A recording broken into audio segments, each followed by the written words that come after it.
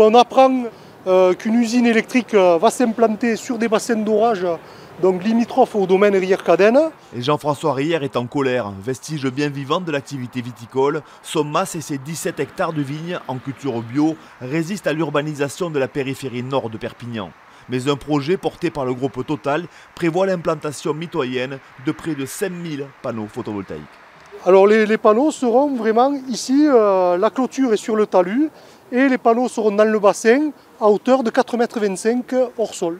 Pour les exploitants du domaine, l'enjeu est même vital, eux qui ont développé toute une activité œnotouristique sur place. D'abord, il y a un détournement de, cette zone, puisque ça a été euh, par le passé euh, exproprié dans un but, dans un motif d'utilité publique, d'intérêt général. Et aujourd'hui, c'est détourné avec un motif euh, lucratif. Donc ça, ça nous pose problème.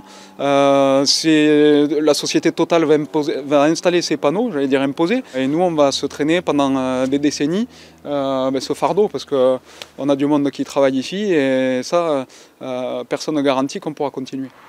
La mairie de Perpignan a voté contre cette centrale de 5 hectares, vilipendée par les riverains.